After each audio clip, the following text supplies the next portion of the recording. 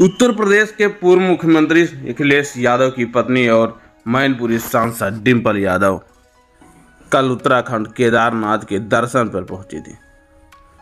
डिम्पल यादव केदारनाथ के दर्शन के लिए अकेले पहुँची थी। उनके साथ अखिलेश यादव नहीं थे। तस्वीरें शेयर की गई तो सोशल मीडिया पर भी खूब वायरल हो रही हैं। बता दें कि डिम्पल यादव उत्तराखंड पहुँची और केदारनाथ का डिम्पल यादव ने दर्शन किए।